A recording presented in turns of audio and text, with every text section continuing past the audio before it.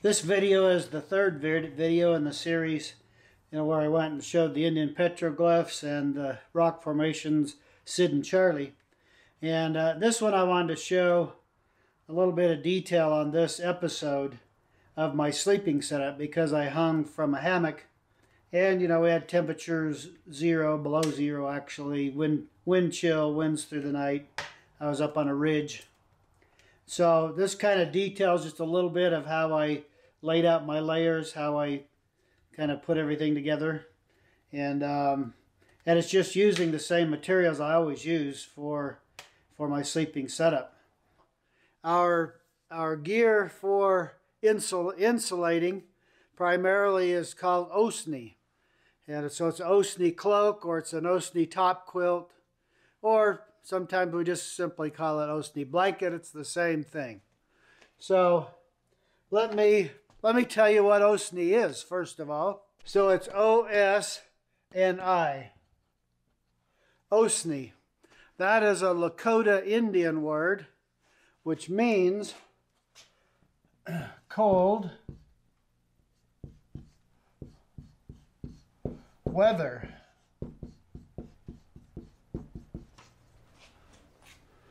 So Osni means cold weather. Well, so this was my bed last night.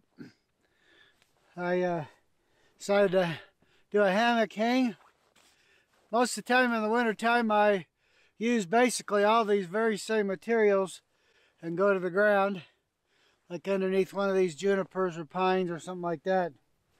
But I decided to do a hang and uh, I slept pretty, pretty darn nice, pretty comfortable. To show you what I've got in a little more detail, Osni.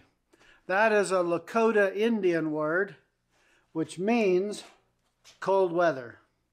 The first item here is the uh, Osni,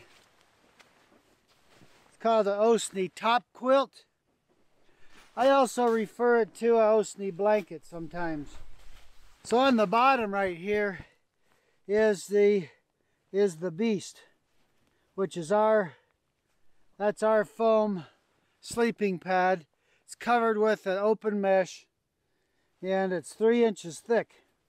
And down each side it has snaps like this right here.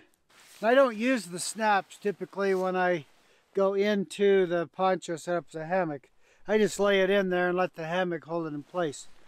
What I decided to do last night is my top quilt, my Osni top quilt, it has snaps down one side itself. So we got the blanket here. It's eight feet long. And down one side,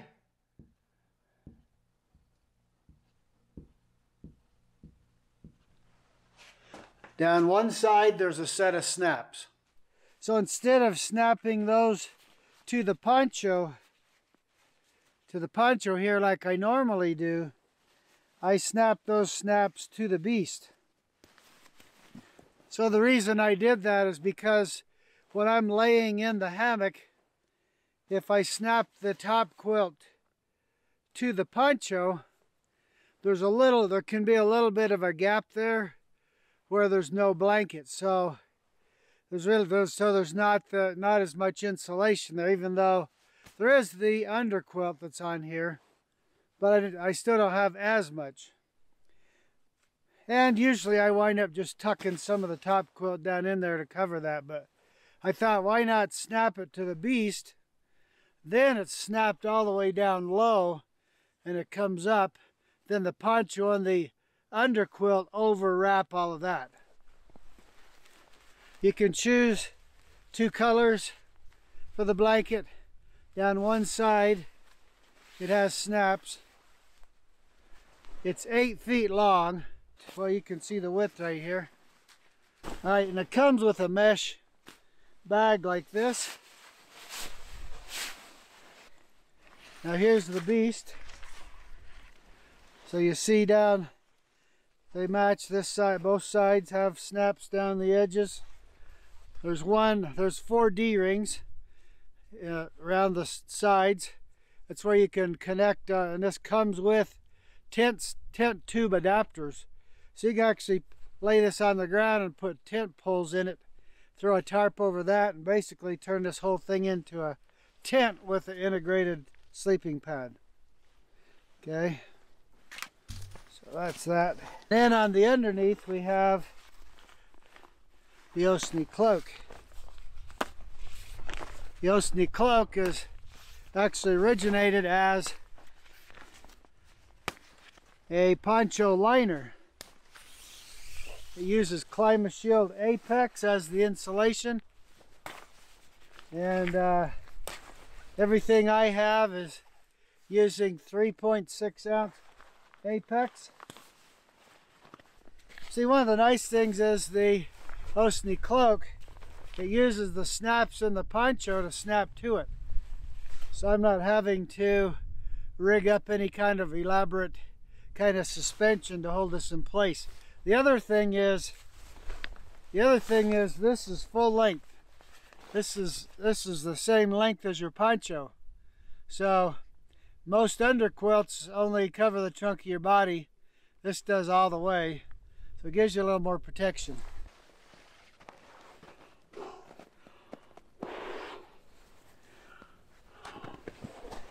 Now at this point what I've got left is my poncho. It's got dry. This one has the quick connect option. So its cords are, I'm gonna pull a, there's a little toggle I use to connect this to the tree suspension.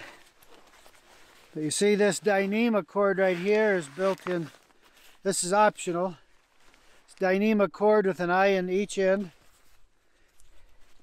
And, uh, and then if you order that option, it's got a little set of snaps in the end of each side of the drawstring channel here. And basically what happens is that eye right there is placed in here and the snap snaps inside the eye.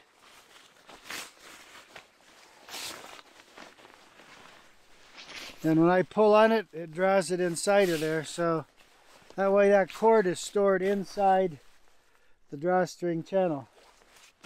So I can wear it as a poncho and I got the drawstring inside there already. Here's the, the hood of the poncho. People always wonder, what do you do with the hood? Well, the hood gets cinched up and I'll throw gloves, my lantern, you know, whatever, bags, gear bags and all that stuff. I just store those, stow those inside of there. That makes about a one gallon pouch or pocket that I can store stuff in. That way I can take advantage of the hood even when I'm not using it as a poncho. And in the next uh, series of videos you're going to see after this one, the next ones that'll be uploading will um, have um, some detail about using the very same system to sleep on the ground, on the frozen ground. And same kind of temperature con conditions and all that. Be enough that I could sleep just with that. We're down about 10 degrees right now. Snapped the Osni cloak over top the Osni blanket, over top of the beast. It's awesome. I am so toasty warm in here. Um, it's somewhere just above zero outside. All right, so pretty much I tried to keep my coat and my boots and stuff under the covers a little bit. Hopefully you can see that. I don't know. And here we are. I don't know if you see it. Well, leaving the truck behind now. Tromping through the snow.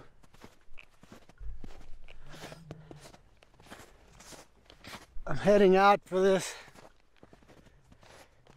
what I consider one of the best, not the best, but one of the best overlooks on the San Rafael.